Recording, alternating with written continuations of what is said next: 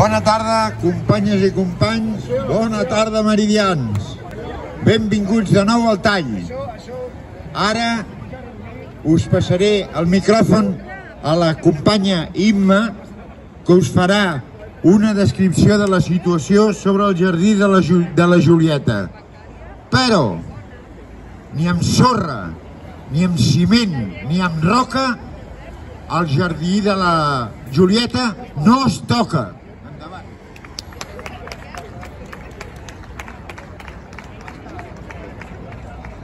Moltes gràcies per donar-me la veu.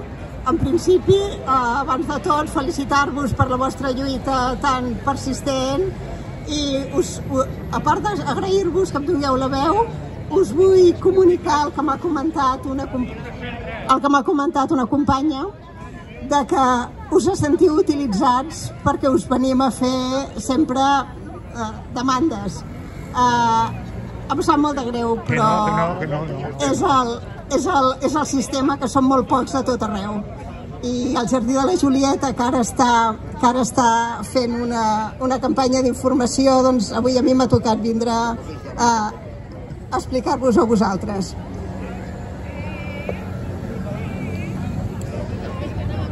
El, el proper dijous 21 d'octubre es celebra el judici del Jardí de la Julieta New Real State Horizon és l'empresa propietària del solar on es troba el Jardí de la Julieta que va, va interposar una demanda de desnonament.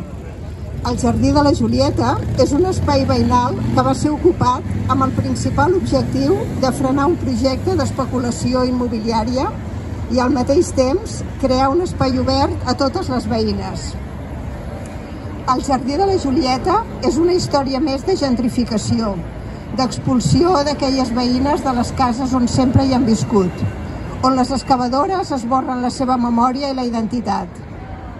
El Jardí de la Julieta no només ha impedit durant pràcticament 3 anys un projecte d'especulació immobiliària, sinó que ha recuperat la memòria enderrocada per les excavadores i ha convertit aquest espai en un hort comunitari i gestionat per les mateixes veïnes. Convoquem el dijous, a les 11 una concentració de suport a la porta de la ciutat de la injustícia.